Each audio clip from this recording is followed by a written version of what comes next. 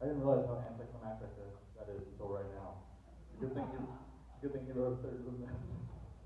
Cool. Um, so this is uh, this next piece is very cool. Um, usually I'm I'm Adam. I'm the brass guy here, um, but I went to Cal Arts for horn performance and composition.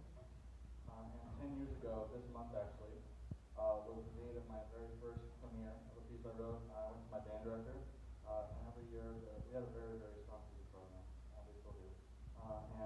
you let the seniors on the spring concert perform a concerto their choosing with the wind ensemble. And I thought it was a great thing, uh, but there was another horn player playing a concerto, and I didn't want to put the audience through two horn concertos.